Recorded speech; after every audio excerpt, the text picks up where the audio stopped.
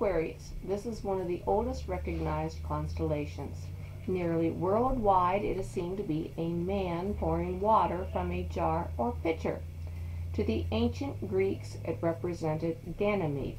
He was the son of King Troas of Troy, and he was considered to be the most beautiful mortal in the world.